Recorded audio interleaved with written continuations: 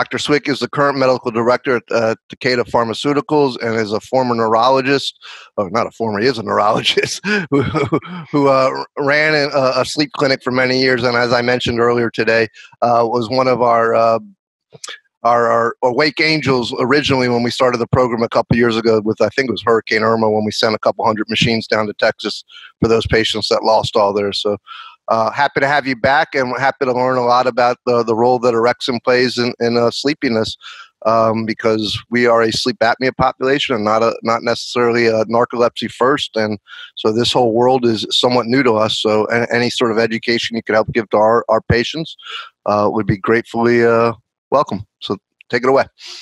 Well, thank you, Adam, and thank you, Justine, and thank you for the American Sleep Apnea Association for having me on. I've been listening to the uh, talk from the beginning, and my hat's off to you guys. This is a groundbreaking, cutting edge presentation, and this is going to be the realm for many years to come. And I think you've just done a wonderful job. And I want to thank the uh, previous presenters uh, for laying the groundwork for what I'm going to be talking about today. Because orexin is a neurotransmitter, it's also called hypocretin, that was just discovered 21 years ago. And it has enabled us to get a much better understanding of what allows us to wake up in the morning and conversely how it changes over the course of the day and how it allows sleep to come on. And there are illnesses and adam just mentioned one of them is narcolepsy but it's sleep apnea. Orexin also plays a part. That's part of the research that is being done not only uh, by Takeda Pharmaceuticals, but throughout the world in the role of orexin in regulating sleep and wakefulness. So, can I have my first slide? Let me get through the legal representations here. I'm an employee of Takeda Pharmaceuticals. Uh, and Takeda is the sponsor of several preclinical studies and clinical trials of orexin agonists. And uh, the presentation is for your informational and educational uh, use. And we really are not referring to any drug that is approved by the FDA or any other regulatory agency for prescription use. Uh, all third party research and information is clearly credited, and you will see the references on our slides. And if you have questions after this, I will not be taking questions, but you can get them through either the ASAA or through your healthcare provider. Next slide, please. As I said, this uh, neurotransmitter was discovered uh, and published by two, two centers, literally two weeks apart. One center was out in California, the other center was in Dallas, Texas. And that's why there are two names, by the way, orexin and hypocretin. But they're the same thing, they're the same compounds. And it is functional as a signaling molecule or neurotransmitter, meaning that it is produced in one part of the brain and has its actions elsewhere. Uh, a similar kind of compound would be a hormone, but this is within the context of the central nervous system. Now, the link between orexin and the control of wakefulness and sleep is really cutting edge technology. And there have been uh, breakthroughs in how it controls wakefulness as well as sleep.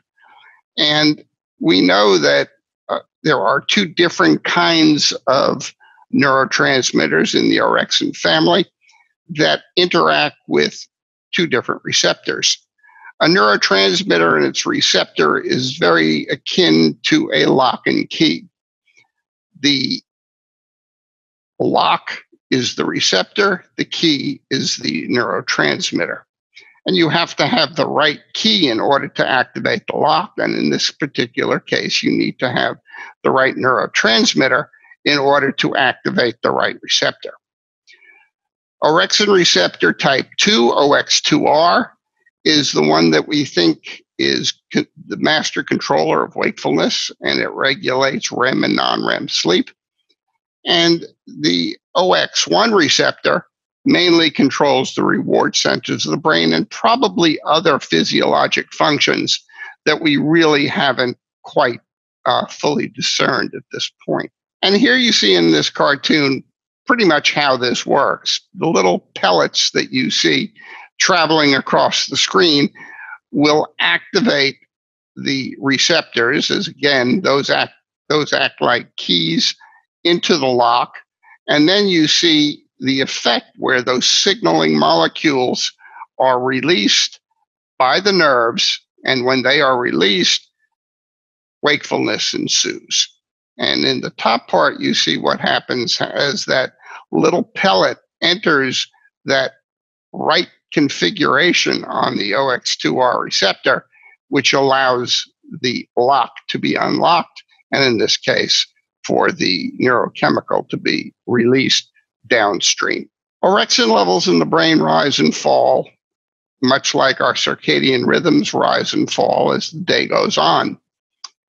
The dashed line represents wakefulness, and there you see the sun. The red bar is the amount of orexin that is produced in the brain. By the way, it is produced in a very small area of the brain called the hypothalamus. However, don't let that fool you because the amount of arborizations, meaning the amount of neurons that emanate from that hypothalamus, is one of the most extensive in the central nervous system, with with dendrites going into the uh, brain, the cortex, and down into the brain stream, uh, brainstem. There you go. Now, so here you see the summary. During the day, you have high levels of orexin, maintaining wakefulness, and at night, with that nice little crescent moon, you have a lower level of orexin, which is allowing sleep to ensue. And there you see the timing of the orexin changes over the course of a 24 hour time frame. This is a slide that has been alluded to in other talks. And um, what we have done, and we have looked at uh, mouse models. And uh, the next slide, I'll show you what we have seen in human uh, neuroimaging studies. But in the mouse model, which is the best way for us at this point to experimentally look at the effects of orexin on sleep and wakefulness, we are able to mimic different kinds of pathologic conditions. In one, we're able to maintain uh, chronic sleep deprivation by keeping the mouse awake. And during that time, we actually are able to demonstrate loss of orexin neurons in the brains of these um, experimental animals. If you lose those orexin neurons, you're going to lose that ability to maintain this neurotransmitter to promote wakefulness. And in its absence, what you're going to have is a net result of decreased wakefulness, increased sleepiness. The intermittent short sleep, all of us who have sleep apnea, and I'm included in that, know that before I started CPAP, my sleep was terribly fragmented. Short periods of sleep, punctuated by periods of wakefulness. And that's the paradigm that we were able to affect in this group of uh, experimental animals. And again, we were able to demonstrate loss of orexin neurons in the brains of these animals. So we're taking what we know to be human attributes in terms of uh, phenotypic symptoms and creating a mouse model and looking to see what changes that are affected in the brains of these animals. And you can see that there is significant findings. Then what we were able to do is using a compound that's an orexin 2 receptor agonist, meaning it is a drug that activates the orexin 2 receptor in both healthy and sleepy mice, we were able to get a generalized increase in wakefulness.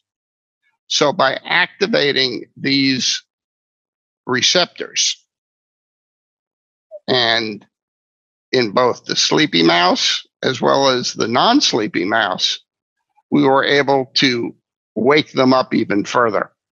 And that is a very promising result, and that has allowed uh, Takeda to increase its a uh, quest to find drugs that can do the same thing. Here you see a cartoon cross section of a human brain, and I want you to take a look at the LH, which stands for lateral hypothalamus. That's where the orexin molecules originate from. And the blue lines represent the neurons that are emanating from that lateral hypothalamus. And you can see it going up into the cerebral cortex. And if you take a look, there are some shorter blue arms that are going down into the brainstem. That's important because in order to wake up, you have to wake the brain up. That's the cerebral cortex. And you have to maintain a high degree of persistent wakefulness, which comes from stimulating cells in the brainstem, which are responsible for the maintenance of wakefulness. And there you see uh, the dorsal raphe nucleus and the pedunculopontine tegmental nucleus, locus coeruleus, and an area above the brainstem uh, also in the hypothalamus, close to where the orexin cells originate, is something called the tuberomammillary nucleus. All of these red circles are centers of the brain and brainstem that are responsible for keeping us awake.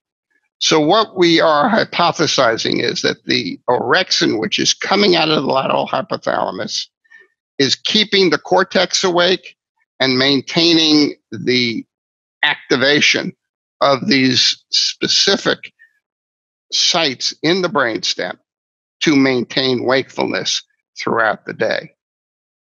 So, to summarize, we believe that orexin is the master regulator of sleep and wakefulness. I typically call it the master conductor. When a conductor raises his baton, the orchestra increases its volume and intensity. And that's the equivalent of wakefulness. When the conductor lowers his baton, the orchestra gets far more quiet and he can stop the music. And that's with sleep. And that's how I kind of analogize the orexin system. And the orexin levels in the brain are higher during the day and lower at night, as we demonstrated on that cartoon. And how this relates to sleep apnea is this third bullet point. And we have said that new scientific studies are investigating the role of orexin to help with residual daytime sleepiness. And you heard a wonderful lecture uh, from Dr. Hyman about the fact that EDS is a very common uh, symptom in patients with OSA. And we know that there's a substantial proportion of patients who are adequately treated with things like CPAP who continue to experience daytime sleepiness. And we are trying to find ways to mitigate that daytime sleepiness. But the one caution I want to add here is that even when we find medicines to treat that residual daytime sleepiness, it does not negate the fact that CPAP still needs to be used to produce the opening of the airway, which is the necessary component of treatment of sleep apnea. And with that, I want to thank you for your time And I want to say that this is just an incredible way to learn. And uh, I appreciate the opportunity. Thank you, Adam we appreciate the the work that you've done for us, Dr. Swick, and we appreciate the education. Uh, I'm sure we'll be doing a lot more of this as we go because I think the the education factor uh, and and our ability to translate this from from from your guys' vocabulary, especially at, at a high end level as, as neurology, uh, down into a, a, layman's terms. I always say if I can't explain it to my daughter, I don't understand it myself. so this has been, uh, I think, a really good introduction for our community about excessive daytime sleepiness earlier with Dr. Hyman and about the role of Orexin that, that, that, that you presented here. And I think it'll, as we continue to use our CPAPs and our and our and our behavioral change and work on our nutrition and all these other things, we're really going to be able to start to figure out what's the right combination of, of therapies for sleep apnea patients. So, with that, thank you so much. We will see you next time. There will be a next time.